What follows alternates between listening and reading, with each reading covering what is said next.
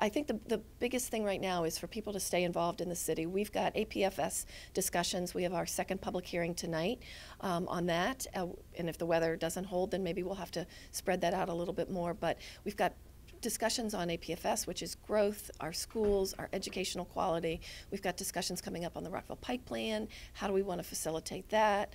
Um, so we've got a lot going on, and we need people to stay engaged and let us know what you think.